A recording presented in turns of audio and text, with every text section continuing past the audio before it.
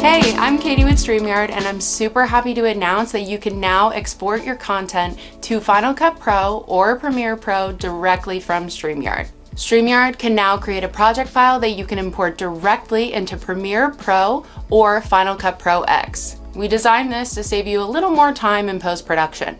Let's talk about it. Go to your video library under videos and find the video you want to export.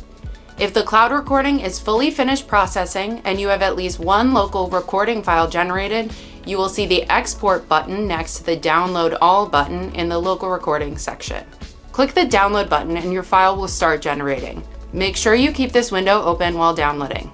It will download as a zip file that contains your cloud recording, all your local recordings for your broadcast, and the project file fit for Adobe Premiere Pro or Final Cut Pro X.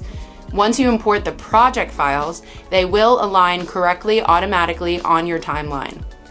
Just be aware, if one of your local recordings hasn't finished uploading, they will not appear in those exported project files. When you go to export them, you will be notified that the recording is incomplete.